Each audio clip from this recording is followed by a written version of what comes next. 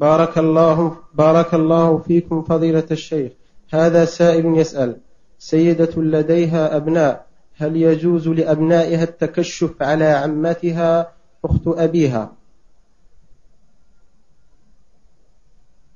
نعم عمتها عمة أمهم عمة لهم.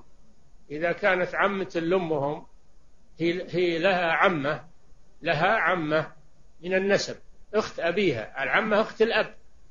إذا كان لها عمة أخت لأبيها ولها أولاد فأولادها محارم لعمتها لأن عمة أمهم عمة لهم.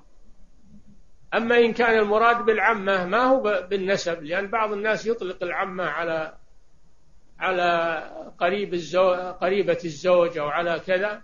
إذا كانت ما هي من النسب ولا من الرضاع فإنها لا أجنبية.